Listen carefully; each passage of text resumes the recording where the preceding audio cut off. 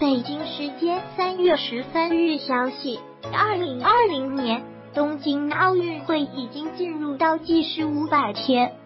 今年是女排的比赛大年，郎平与女排姑娘们的任务可谓是非常艰巨。目前，中国女排部分队员正在集训，没有回归国家队的主力球员们也将调整下状态，准备归队集训。不过，就在这紧张的时刻，传来一好消息：中国女排电影女主角已经敲定。而影后巩俐将饰演郎平。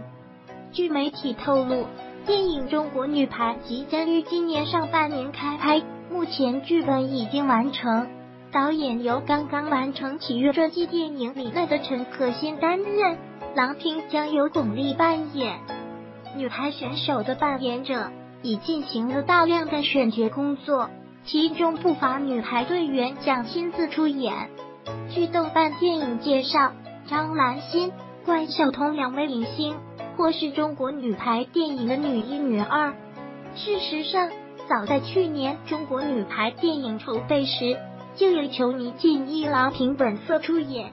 不过，由于接下来中国女排将全力备战东京奥运，抽不出时间来拍摄，所以将由导演陈可辛挑选演员饰演。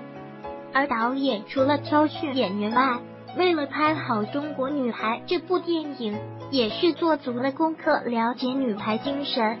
去年雅加达亚运会前夕，陈可辛带着团队专门前往中国女排集训地，与女排姑娘以及郎平交流。女排世锦赛半决赛上，陈可辛特意前往日本现场看比赛，为中国女排加油。相信通过多次的近距离了解接触。陈可辛导演对女排精神有了更深刻的体会。从一九八一年女排首次世界大赛夺冠到如今，已经过去近四十年了。女排精神代代相传，可以说再也没有一种精神能在民众当中自发崇拜如此之长的时间。女排精神之所以备受推崇。最重要的是那种足以流芳百世的不畏强敌、顽强拼搏、永不言弃的精神。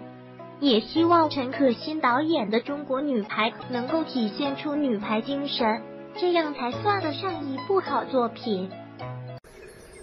Thank you.